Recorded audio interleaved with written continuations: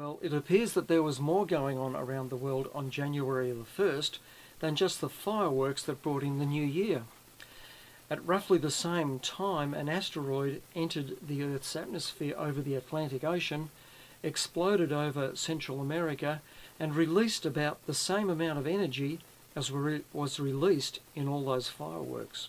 In 2014, the new year began with a bang on the order of about 500 tons of TNT. That's how much energy asteroid 2014 AA is estimated to have delivered to Earth's atmosphere when it exploded over the Atlantic Ocean on January 1st at approximately 11:10 p.m. Eastern Standard Time. 2014 AA was the first asteroid discovered in 2014. Astronomers of the Catalina Sky Survey found it during the early hours of January 1st using one of their telescopes near Tucson, Arizona. Our encounter with this space rock the size of a small compact car didn't last long, however. It was only 21 hours before it crashed into Earth's atmosphere. No damage was done, says Don Yeomans of the Near Earth Object Program at NASA's Jet Propulsion Laboratory. It disintegrated harmlessly high above Earth's surface. Asteroids the size of 2014 AA hit Earth several times a year, so there's nothing remarkable about such an impact. What's interesting is that it was seen before the impact. This is only the second time that astronomers have detected an Earth impacting asteroid before it hit. The first time was back in October 2008 when another small asteroid, 2008 TC3, hit Earth's atmosphere and broke up over northern Sudan. As many as 600 small meteorites were recovered from the Nubian desert after that crash. Fresh meteorites, especially those that are associated with a known fall, are scientifically precious.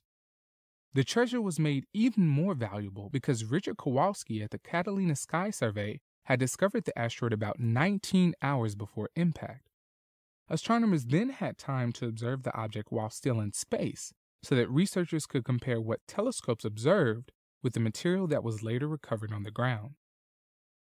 At first, 2014 AA seemed to be a case of deja vu, a 2 to 3 meter asteroid discovered by Catalina almost a full day before impact. But in this case, the asteroid would impact over open ocean where no meteorites could be recovered.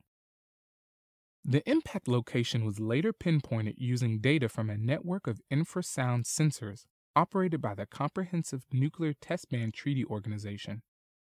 While this global network of detectors was originally intended to monitor for nuclear explosions that may violate the treaty, it can also be utilized to pinpoint airbursts from entering meteors. Infrasound is a type of very low frequency sound wave that only elephants and a few other animals can hear. Meteors penetrating through Earth's atmosphere cause ripples of infrasound to spread through the air of our planet.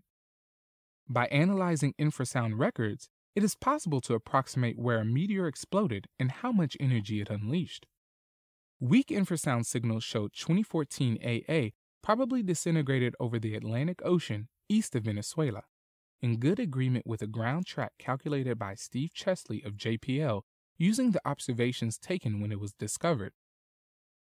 I estimate that some 10% of the asteroid's mass could have reached Earth's surface in the form of ponderable sized meteorites says University of Western Ontario physics professor Peter Brown, who analyzed the infrasound.